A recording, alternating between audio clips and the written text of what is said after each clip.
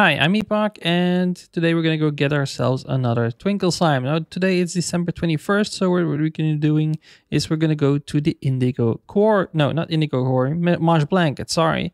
So we're gonna go to the Moss Blanket, and that's right over here, my teleporter. So we are over here in the big central area.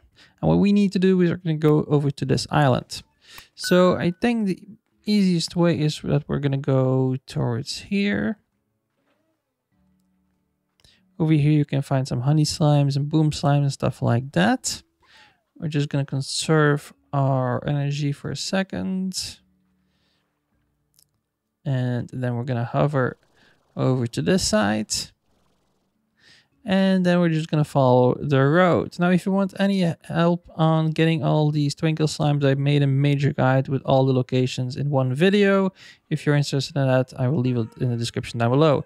But here you can find the twinkle slime. So right over here, he's already singing, so he's going to explode any second.